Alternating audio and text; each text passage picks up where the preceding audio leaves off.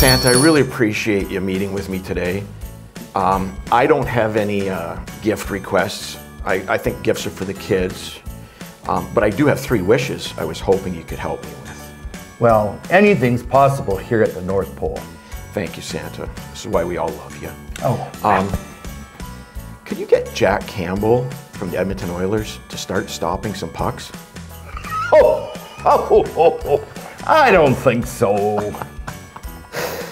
um, okay. Um, Santa, we all know the Toronto Maple Leafs, they, they can't make the playoffs. Can they, you help me get them to win the Stanley Cup this year? Oh, oh, oh. Ah, that's a tall order even for the big guy. okay. Well, I've been coaching goalies for a long time, and um, people say that I'm cringeworthy, I'm immature, and I'm not professional. So I was wondering, can you give me some advice on how to be more professional? Well, coming from Santa, we would just automatically give you that black sidewalk chalk in the stocking. Black sidewalk chalk? Yeah, it's that. It's not a hockey puck, sir. It's one of those lumps of coal that we give the naughty kids.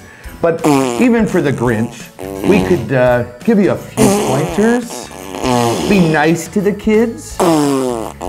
The Creator gave the kids two ears to listen a little bit better. But you know what? Even the Grinch needs lots of help at Christmas. I appreciate it. Thank you, Santa.